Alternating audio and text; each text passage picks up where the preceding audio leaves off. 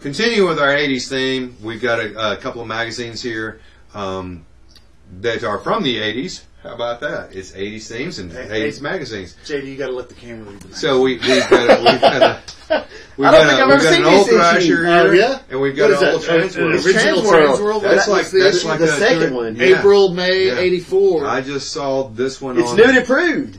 Yeah, exactly. And I just saw this one online uh, uh, for sale for uh, quite a bit, large amount of money, actually, a couple I hundred can, bucks. I can imagine. Yeah, I've never But, seen uh, it. so tell us a little bit about the difference between Thrasher magazine and Transworld Well, magazine. on the cover of this one is uh, Tom Groholski Oh, on yeah. this crazy plexiglass ramp. It was an old Pepsi, There's a Pepsi ramp. Yeah. that he had set up in his backyard. So the he- craziest thing about this is this was also set up up there in Jersey. And they get a lot of snow up there and everything. And this plexiglass is extremely slick anyway. So you throw some snow and some ice, Ice on it. Yeah, you know. But these guys used to clean it off and skate it all the time. And that's how Tom became really good is if, and this is something that I've always thought, if you can skate the worst, sketchiest stuff in the world and skate it really well, you can go anywhere. That's why East Coast was always radder than West Coast. Sorry, West Coast.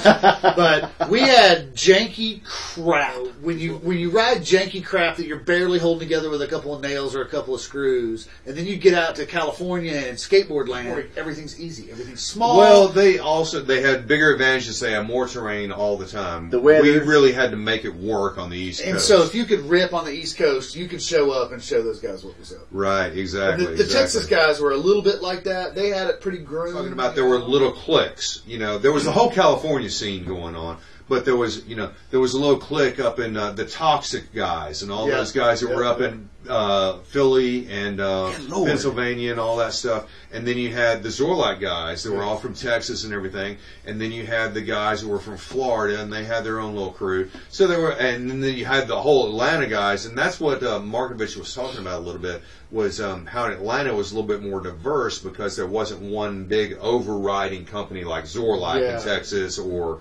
um, you know Toxic Sure. up in the north. That's got to be one of the first smaller thrashers, right? Uh, yes, this The is first after the news- Yeah, newspaper. probably one of Newsprint, but it's still, still got yeah. the. It's still got the. still newsprint. Yeah. Yeah, yeah. Look, this is how old this is. Lance Mountain is riding for Variflex. He's got his own pro board. So He's this got right his here, own. that's a Lance right, Mountain model. Right, right. This was a uh, uh, Bogey, Billy Beauregard. Wow. He had his own model for a little while. Lance Mountain. Nope. Um, uh, this is Eric Grisham, I think. It was a Grizzly. Uh, look, first tracker. Tracker.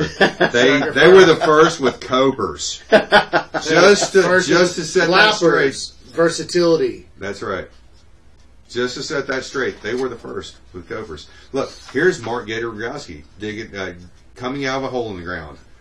I'm, Going? What are they selling there? Going He, he might still be there. Come up, come up to the street.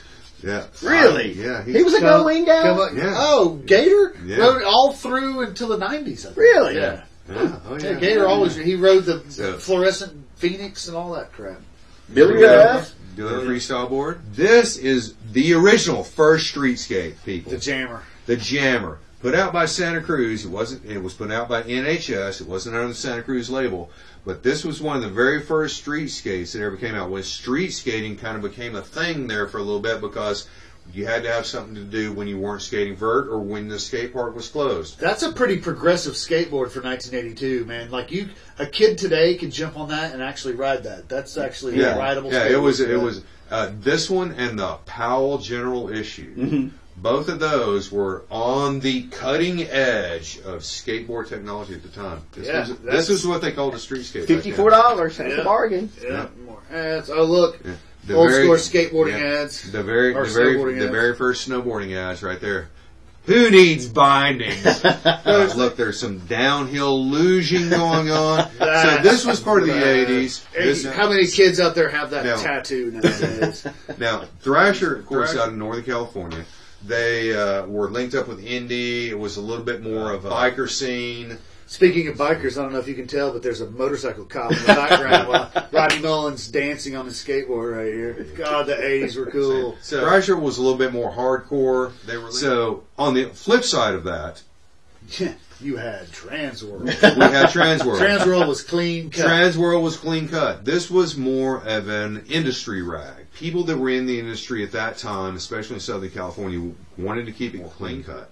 So they were more into the surfer image, you know, that kind of thing. Pretty boy, California, California dreaming. So this was their deal, and this is the second issue of Transworld. and they were way ahead of their time. They had slick pages from the beginning, yes, you know. But they were also They only they were bi-monthly. They only put out six true. issues a year, and uh, they were they cost a little bit. more. and and they were kind of the tracker crew. It was always, you know, the the Indies versus trackers, NorCal versus SoCal, and that even fed down into Tennessee. You know, who was riding trackers? You see a guy riding trackers? Oh, you know, you think I'll go about trackers. I know, or you see a guy riding Indies, and you think a certain way about the, what equipment that person was riding. Yep, absolutely, absolutely. Dang. So what else we got in this Transworld? Anything fun? Oh, I'm Just sure a bunch of there's all ads. kinds of good stuff. in Yeah. Yes. Imagine that. Anything? Neil Blender. Yeah, doing a big huge indie air. That's rad. And look, there's some Neil Blender art right there. Oh yeah. You see, and that was uh, can't really see actually. that on the can, but Yeah, we're gonna work out our lighting, folks. our lighting is really not so great right now, but we're gonna work that out. You know, all those big Hollywood productions, they got nothing on us. uh, this magazine was actually just a little bit more than a glorified rag. And one of the reasons is there were a uh, couple of guys that actually lived in Tennessee that moved there. Britt Parrott used to be one of their editors at Transworld magazine. And a lot of those guys were bringing that zine ethic. Transworld was actually bringing people in from other places. so this is them. '84. I was gonna say the, Yeah. the quality is really good. The the skateboarding you can tell is evolved. That Tony Hawk? Look There at- he That's goes. Boney Stock. Look at that. Doing a big huge frontside ollie. Yeah. Look at that. Look at Tony Hawk's a little kid in that picture. And Transworld always had a always had a poster in the middle. Yeah, So, yeah. you center got fold, something to hang on You your can wall. always pull it out and hang it on your wall. Yeah. More, there's more blender art right there. Look, trick tips with ride him on. All freestyle. You see, you didn't see much freestyle on Thrasher.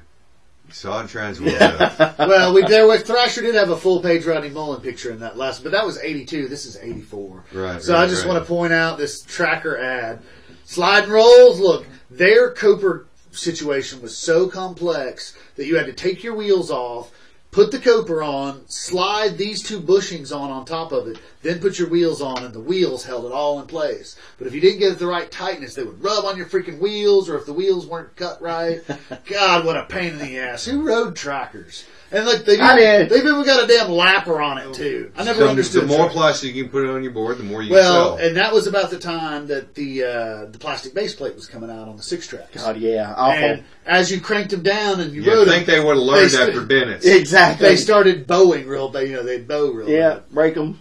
People love their trucks. Yeah. You know, I'll never People ride love trackers Indies. again. I, well, People I, love trackers. Own a couple of pairs of Indies, and because I have to, I don't have enough Gullwings to go around. But when it comes to park riding or serious skateboarding, I ride Gullwings. Well, I've Yeah. learned something. We think we know. I did enough not know numbers. that that was the Pepsi ramp, that was a Pepsi. ramp. And that blows my mind. Thanks, Pepsi, and they gave it to Groholski to put in his back. I doubt they Well, he ended to up. His parents were very supportive, and they ended up. Yeah. He had a little complex all through growing up. That's why he was so rad, Yeah, yeah, yeah. and actually still is rad. And he is, and a very humble guy, very nice guy. Uh, Thanks for stopping by, Kickturn Party. Yeah. Send us an Another email. episode of Kickturn Party. We're Tell us out. what you love. Tell us what you hate. Give us some ideas. Tell tell us we're wrong. I would say we're wrong more than right. Yeah. Everybody's gonna hang out here tonight. Alright. We'll pass out in the flat. Alright. Tonight. We got nothing better to do than to take six runs, drink a dozen brews. Don't talk about anything